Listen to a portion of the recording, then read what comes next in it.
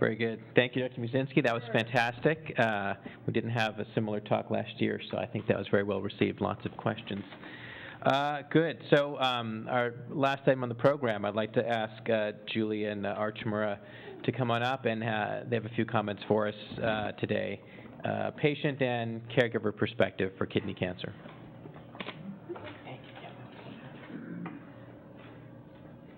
Okay, I'm not good at talking, but I'll, I'll relate what I know, or what I have, the experiences I have had.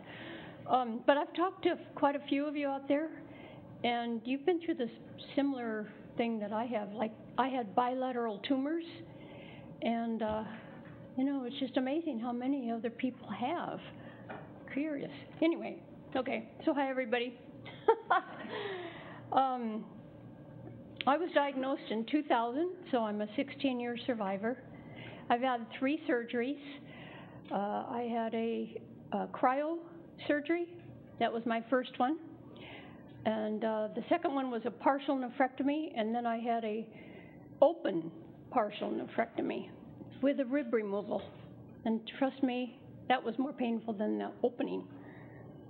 Um, I don't think I'll go into too much detail about, you know, how far I've come and what has happened, because not a lot has happened. I've just had the surgeries and I haven't had to have treatment, and I feel really good. The only problems I'm having are bowel blockages due to all the scar tissue from all the surgeries that I had to have. and that's about it. Um, the other part is we got interested in having um, some group meetings in Seattle because when I first started, there was nothing.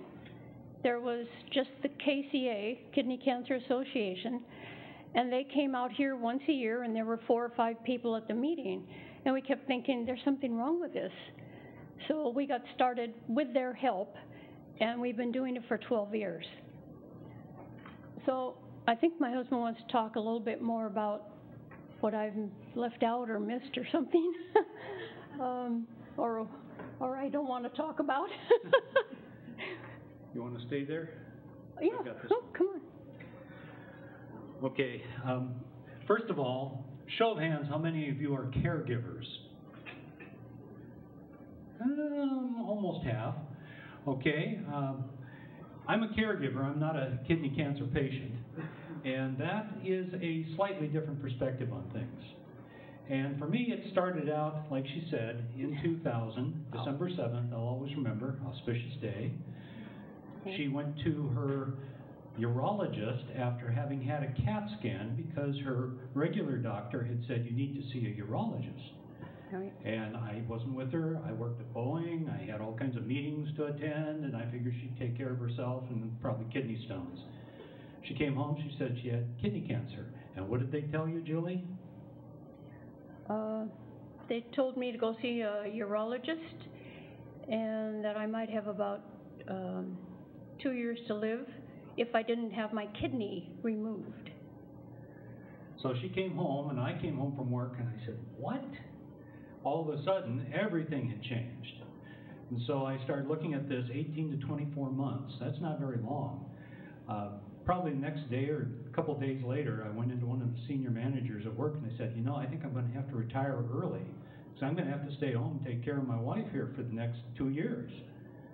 And uh, they were real accommodating, and they managed to uh, let me take time off when I had to support her in her surgeries. And literally, there were times when I had to lift her out of the bed so that she could get out to the bathroom, things of that sort. So I was able to work from home. I was able to actually help her through some of the hard physical stuff. Then you get to the mental stuff. Anybody running into that yet? Yeah, caregivers you have a real role to play in helping get through that mental stuff.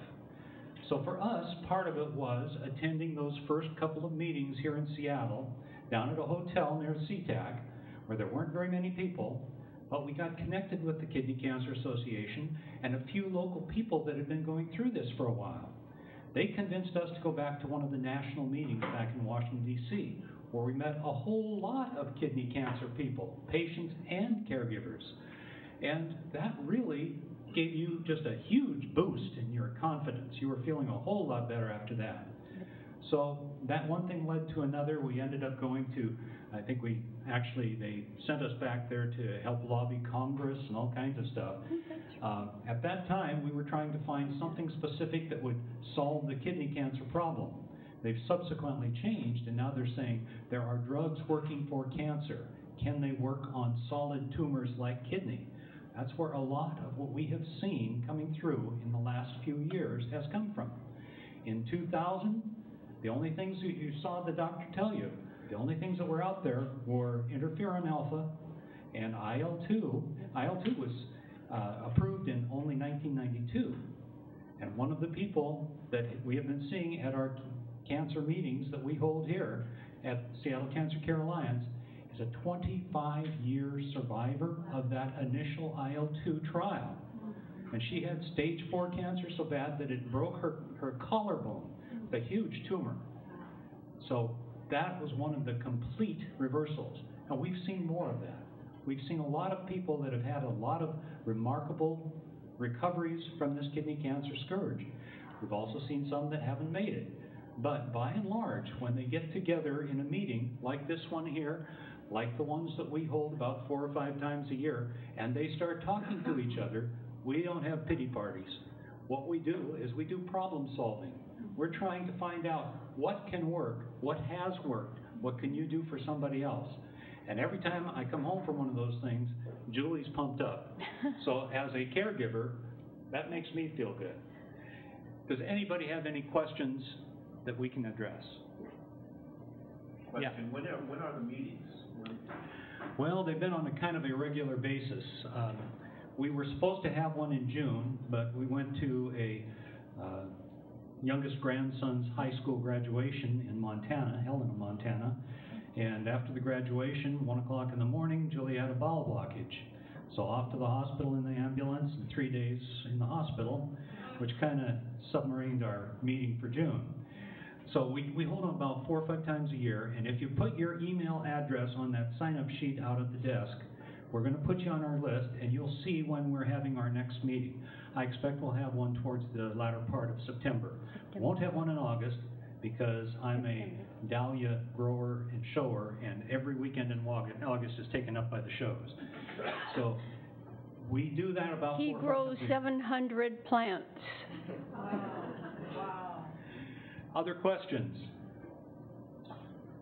Julie didn't tell you about the genetic aspect, but when she was first diagnosed with the bilateral tumors and things in her lungs and her pancreas, they were thinking about von Hippel-Lindau disease, very genetic. And uh, we actually went back to the um, National Institutes of Health and the Ameri- and- and they tested her for an entire week to try and determine whether this was a VHL situation. In her case, they were never able to prove that it was. They also were never able to prove that it wasn't. So that's part of the frustrating part of the genetics that maybe you did or didn't catch from the talk. Yeah, totally.